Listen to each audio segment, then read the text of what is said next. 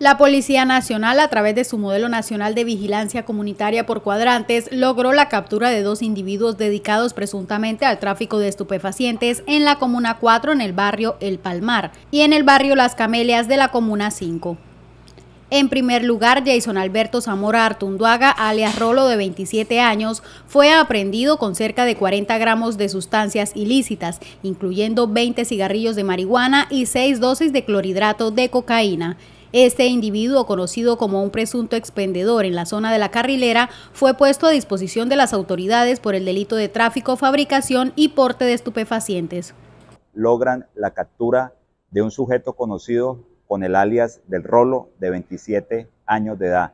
De resaltar que esta persona es expendedor de sustancias estupefacientes en este sitio y es judicializado por el delito de tráfico, fabricación y porte de sustancias estupefacientes. Al momento de su requisa se le encuentran cigarrillos de marihuana y base de clorhidrato de cocaína listas para su comercialización. Y les quiero mostrar que en el mercado estos cigarrillos de marihuana tienen un valor comercial de 5 mil pesos y estos cigarrillos de marihuana tienen un valor comercial de 4 mil pesos. Y la bolsa y estas bolsas de clorhidrato de cocaína un valor de 10 mil pesos. Seguimos impactando en los sitios y a los expendedores del estupefaciente que instrumentalizan a nuestros niños, niñas y adolescentes en Barranca Bermeja.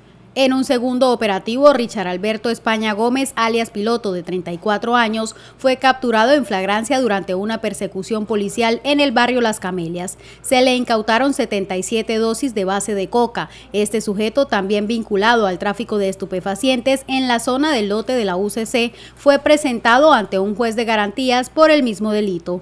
Aquí, en el sectores del lote de la UCC, logran la captura de un sujeto después de una persecución donde las unidades, al momento de hacerle requerimiento, este sujeto emprende la huida y es capturado en el sector del barrio Las Camelias.